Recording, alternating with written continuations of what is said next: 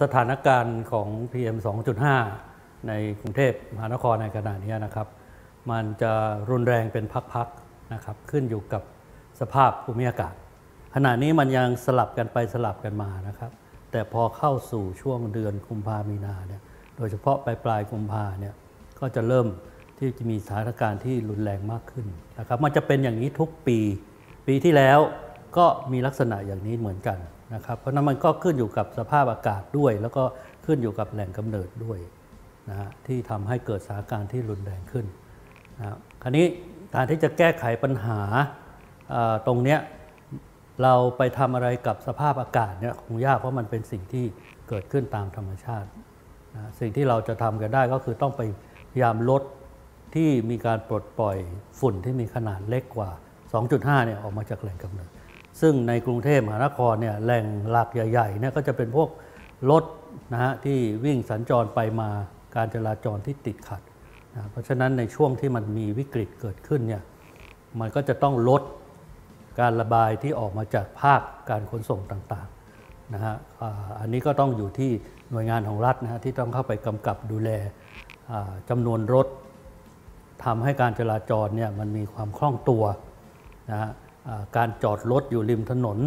สองข้างเนี่ยมันก็ทำให้เรื่องของการเคลื่อนตัวของการจราจรเนี่ยถูกจำกัดไป มันก็จะทำให้มีการระบายมลพิษออกมาเพิ่มขึ้น เพราะนั้นตรงนี้ก็จะต้องเป็นสิ่งที่เข้าไปดูนะครับเพื่อไปแก้ไขลดการเผา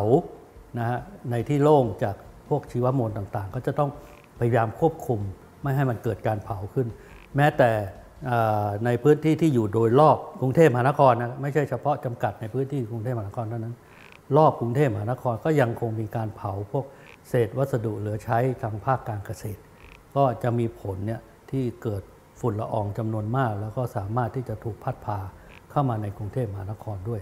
นะในปริมณฑลทั้ง 5 จังหวัดนะการไปแก้ไขปัญหาขณะนี้เนี่ยก็มักจะเน้นไปที่ปลายเหตุเป็นหลักนะครับอย่างเช่นการไปฉีดพ่นน้ำอ่า